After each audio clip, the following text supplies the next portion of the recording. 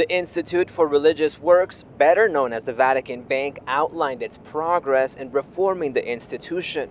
The reform started in 2010 and some of the major components will be completed by the first half of 2014, according to the report. In the first three months, the Vatican Bank will implement a Know Your Customer application for individual and group accounts. It'll also introduce a risk-based client rating to help tackle money laundering. By mid-year 2014, the IOR said they will have screened all of its accounts in search of missing or incomplete information. The process started back in 2013. So far, they've looked through some 10,000 client records, or about 55% of their accounts.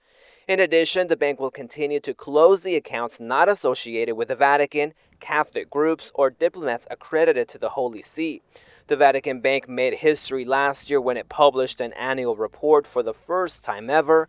The next report will come out in mid 2014.